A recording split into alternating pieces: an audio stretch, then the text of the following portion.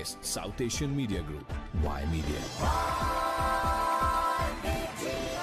ਅਰਵਿੰਦ ਕੇਜਰੀਵਾਲ ਸਾਹਿਬ ਉਸ ਸਮੇਂ ਜਦੋਂ ਕਿ ਉਹ ਬਿਲਕੁਲ ਜੇਲ੍ਹ ਤੋਂ ਬਾਹਰ ਆਣ ਲੱਗੇ ਸੀਗੇ ਲੇਕਿਨ ਉਸੇ ਸਮੇਂ ਉਹਨਾਂ ਦੀ ਜਿਹੜੀ ਬੇਲ ਹੈਗੀ ਆ ਉਹਦੇ ਉੱਤੇ ਦੁਬਾਰਾ ਤੋਂ ਸੁਣਵਾਈ ਜਿਹੜੀ ਆ ਉਹ ਸ਼ੁਰੂ ਹੋਣ ਜਾ ਰਹੀ ਹੈ ਤੁਹਾਡੇ ਅਸੀਂ ਡਿਟੇਲ ਦੇ ਵਿੱਚ ਜਾਣਕਾਰੀ ਸ਼ੇਅਰ ਕਰਨ ਜਾ ਰਹੇ ਹੈਗੇ ਆ ਕਿ ਹੋਇਆ ਕੀ ਹੈ ਅਰਵਿੰਦ ਕੇਜਰੀਵਾਲ ਸਾਹਿਬ ਨੂੰ ਜਿਹੜਾ ਟ੍ਰਾਇਲ ਕੋਰਟ ਸੀਗਾ ਉਹਨਾਂ ਨੇ ਜ਼ਮਾਨਤ ਜਿਹੜੀ ਆ ਉਹ ਦੇ ਦਿੱਤੀ ਲੇਕਿਨ ਉਸ ਤੋਂ ਬਾਅਦ ਜਦੋਂ ਅਰਵਿੰਦ ਕੇਜਰੀਵਾਲ ਸਾਹਿਬ ਦੇ ਸਾਰੇ ਟ੍ਰਾਇਲ ਕੋਰਟ ਦੇ ਵਿੱਚ ਉਹਨਾਂ ਦੀ ਜ਼ਮਾਨਤ ਹੋ ਗਈ, ਸਭ ਕੁਝ ਹੋ ਗਿਆ।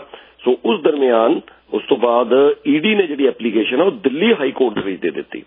ਈਡੀ ਨੇ ਦਿੱਲੀ ਹਾਈ ਕੋਰਟ ਦੇ ਵਿੱਚ ਜਿਹੜੀ ਹੈ ਉਹ ਐਪਲੀਕੇਸ਼ਨ ਦਿੱਤੀ ਔਰ ਉਹਦੇ ਵਿੱਚ ਦਿੱਲੀ ਹਾਈ ਕੋਰਟ ਜਿਹੜੀ ਹੈ ਉਹਨਾਂ ਨੇ ਫਿਰ ਰੋਕ ਦਿੱਤਾ ਅਰਵਿੰਦ ਕੇਜਰੀਵਾਲ ਹੋਣਾ ਦੀ ਜਿਹੜੀ ਬੇਲ ਦੇ ਉੱਤੇ ਰਿਹਾਈ ਹੋਣ ਜਾ ਰਹੀ ਸੀਗੀ, ਉਹ ਫਿਰ ਰੋਕ ਦਿੱਤੀ। ਔਰ ਉਸ ਤੋਂ ਬਾਅਦ ਹੁਣ ਟ੍ਰਾਇਲ ਕੋਰਟ ਦੇ ਜਦੋਂ ਇਹ ਰੋਕ ਦਿੱਤਾ ਤਾਂ ਫਿਰ ਦਿੱਲੀ ਹਾਈ ਕੋਰਟ ਦਾ, ਦੇ ਵਿੱਚ ਈਡੀ ਦਾ ਕਹਿਣਾ ਸੀਗਾ। ਉਹਨਾਂ ਨੇ ਆਪਣੀ ਪਟੀਸ਼ਨ ਦੇ ਵਿੱਚ ਦੱਸਿਆ ਕਿ ਅਰਜੈਂਟ ਹੀਅਰਿੰਗ ਕੀਤੀ ਜਾਵੇ ਔਰ ਇਹ ਠੀਕ ਨਹੀਂ ਹੈ। ਅਸੀਂ ਦੱਸ ਦਈਏ ਕਿ 1 ਲੱਖ ਰੁਪਏ ਦੀ ਜ਼ਮਾਨਤ ਦੇ ਉੱਤੇ ਉਹਨਾਂ ਦੀ ਬੇਲ ਜਿਹੜੀ ਆ ਹੋਈ ਸੀਗੀ। ਅਰਵਿੰਦ ਕੇਜਰੀਵਾਲ ਦੀ ਪਹਿਲੀ ਵਾਰ ਜਿਹੜੀ ਗ੍ਰਿਫਤਾਰੀ ਹੈ 21 ਮਾਰਚ ਨੂੰ ਹੋਈ ਸੀਗੀ।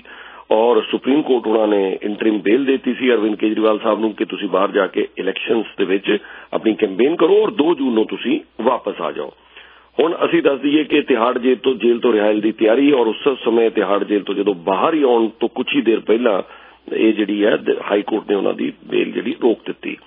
ਅਸੀਂ ਹੁਣ ਇੱਥੇ ਇਹ ਦੱਸਣਾ ਚਾਹੁੰਦੇ ਹਾਂ ਕਿ ਈਡੀ ਨੇ ਕੀ ਕਿਹਾ ਆਖਿਰਕਾਰ। ਈਡੀ ਨੇ ਦਿੱਲੀ ਹਾਈ ਕੋਰਟ ਦੇ ਵਿੱਚ ਜਾ ਕੇ ਅਪੀਲ ਲਗਾਈ। ਉਹਨਾਂ ਨੇ ਕਿਹਾ ਕਿ ਗਰਾਊਂਡਸ ਹੀ ਨਹੀਂ ਬਣਦੀ ਹੈ ਕੋਈ ਵੀ ਬੇਲ ਦੀ।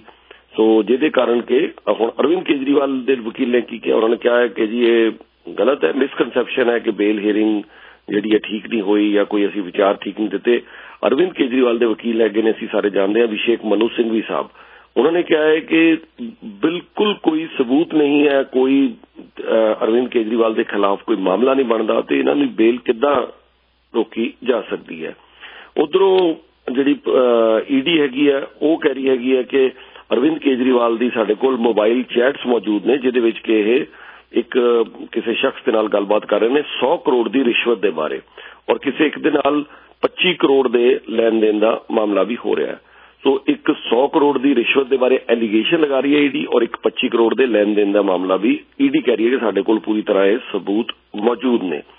ਫਿਰ ਇਹ ਸਵਾਲ ਪੁੱਛਿਆ ਜਾ ਰਿਹਾ ਹੈ ਕਿ ਈਡੀ ਨੂੰ ਕਿ ਤੁਸੀਂ ਪੈਸਾ ਕਿੱਥੇ ਰਿਕਵਰ ਕੀਤਾ ਹੈ ਕੋਈ ਸੋ ਹੁਣ ਈਡੀ ਕਹਿ ਰਹੀ ਹੈ ਕਿ ਅਸੀਂ 45 ਕਰੋੜ ਰੁਪਏ ਦੀਆਂ ਜਿਹੜੀਆਂ ਟ੍ਰਾਂਜੈਕਸ਼ਨ ਹੈ ਗੋਆ ਇਲੈਕਸ਼ਨ ਦੇ ਦਰਮਿਆਨ ਜੋ ਹੋਈਆਂ ਨੇ ਉਹ ਸਾਰੇ ਸਾਡੇ ਕੋਲ ਸਬੂਤ ਨੇ ਇਹ ਗੱਲ ਕਰ ਰਹੇ ਨੇ additional solicitor general S V Raju ਉਹ ਕਹਿੰਦੇ ਆ ਕਿ ਜਿਹੜਾ ਪੈਸਾ ਗੋਆ ਇਲੈਕਸ਼ਨ 'ਚ ਯੂਜ਼ ਹੋਇਆ 45 ਕਰੋੜ ਦਾ ਇਹ ਸਾਫ਼ ਦਿਖਾ ਰਿਹਾ ਹੈ ਕਿ ਟ੍ਰਾਂਜੈਕਸ਼ਨਸ ਜਿਹੜੀਆਂ ਕਿੱਦਾਂ ਹੋਈਆਂ ਨੇ ਸੋ ਪੈਸਾ ਵੀ ਅਸੀਂ ਦਿਖਾ ਰਹੇ ਹਾਂ ਸੋ ਦੋਨਾਂ ਦੀ ਆਪਣੀ ਆਪਣੀ رائے ਆ ਹੋਰ ਕਾਫੀ ਚੀਜ਼ਾਂ ਈਡੀ ਨੇ ਵੀ ਕਹੀਆਂ ਔਰ ਕਾਫੀ ਚੀਜ਼ਾਂ ਜਿਹੜੇ ਕੇਜਰੀਵਾਲ ਸਾਹਿਬ ਦੇ ਬਚਾਅ ਪੱਖ ਦੇ ਵਕੀਲ ਸਾਹਿਬ ਨੇ ਵੀ ਕਾਫੀ ਸਾਰੀਆਂ ਚੀਜ਼ਾਂ ਜਿਹੜੀਆਂ ਇਹਦੇ ਬਾਰੇ ਜ਼ਿਕਰ ਕੀਤੀਆਂ ਨੇ।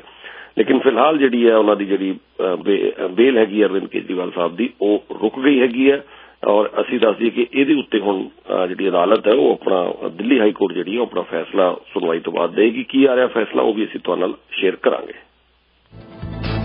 Biggest South Asian media group, Y Media.